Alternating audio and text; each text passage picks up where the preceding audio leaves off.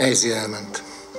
Egyszerűen nem tudom elhinni. Nap mint nap azt várom, hogy újra meglátom a népligetben, vagy a pályán, vagy az öltözőben, és a híres jókedvű ismét betölti azt a pótolhatatlan űrt, amit maga után hagyott. Várom, hogy ismét halljam a viccesem, soha senkit meg nem bántó poénjait, és érezzem azt a pozitív energiát, ami betöltötte a teret, ha ő ott volt. Várom, hogy a soha el nem fogyó történeteiből ismét elmondjon egyet, miközben az öltözőből nyíló masszás szobában a srácokat masszírozzák Lipcsei Gabival együtt. Bármikor, amikor a Népligeti Edzőközpontban vagyok, azt várom, hogy meglássam, és a tipikus ejzis mosolyjal a szája szegletébe, a kezembe csapjon, ahogy tette ezt sok ezer alkalommal az eltelt években.